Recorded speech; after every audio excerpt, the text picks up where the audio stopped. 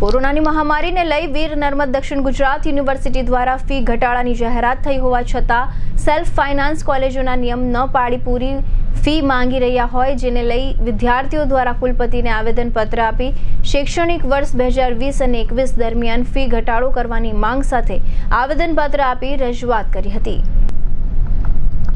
વીર નર્મદ દક્ષિણ ગુજરાત યુનિવર્સિટીના કુલપતિના આવેદનપત્ર આપવા પહોંચેલા વિદ્યાર્થીઓએ જણાવ્યું હતું કે કોરોનાની મહામારીને લઈ યુનિવર્સિટી દ્વારા વિદ્યાર્થીઓની ફીમાં બાર ટકાનો ઘટાડો જાહેર કરાયો હતો.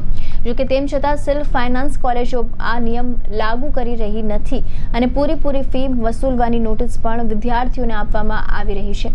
ત્યારે આવી કારમી પરિસ્થિતિમાં બાર ટકા ઘટાડો પણ ખૂબ જ નજીવો કહેવાય, છતાં વિદ્યાર્થીઓ ફી ભરવા આગળ આવી રહ્યા છે. પરંતુ કોલેજો દ્વારા બાર ટકા ઘટાડો પણ ન અપાતો હોય, જેને લઈ વિદ્યાર્થીઓ મૂંઝવણમાં છે. અને જો કોલેજો આ બાર ટકા ઘટાડો પણ લાગુ નહીં પાડે, તો તે વિદ્યાર્થીઓ વિરુદ્ધ હળહળતા અન્યાય સમાન કહેવાય. જેથી સિન્ડિકેટમાં ચર્ચા થાય ત્યારે વિદ્યાર્થી અને વિદ્યાર્થી પ્રતિનિધિ મંડળને પણ હાજર રહેવા જણાવવા માંગ કરાઈ હતી.